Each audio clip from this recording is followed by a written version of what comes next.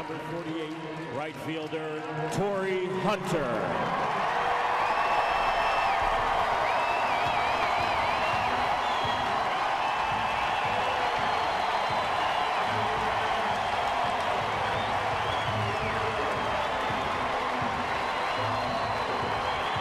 That sends chills down my back. Folks, Torii Hunter spent five years here. He spent more time in Minnesota, but the reception he is getting here at the Big A, outstanding tonight. Unbelievable. As Hunter steps in now with one out.